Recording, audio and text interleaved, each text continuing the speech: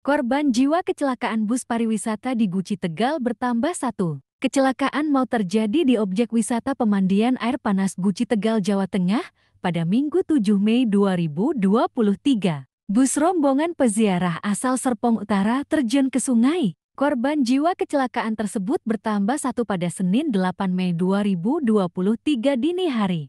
Ibin, yang merupakan satu dari seratusan peziarah asal Serpong Utara ke Pekalongan dan Guci pada Sabtu 8 Mei itu, meninggal di Rumah Sakit Umum Daerah RSIUD Dr. Susilo, Tegal, Jawa Tengah. Wakil Wali Kota Tangerang Selatan Pilar Saga Ihsan menuturkan, Ibin selaku korban luka berat meninggal sekitar pukul 2 WIB.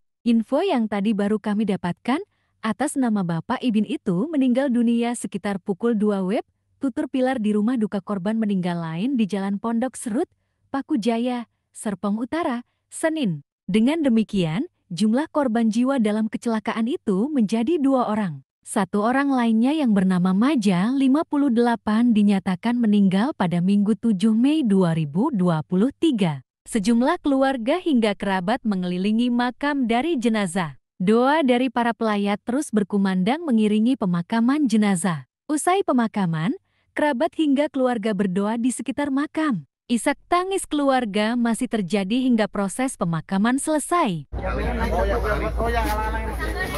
Itu tampanin, tampanin.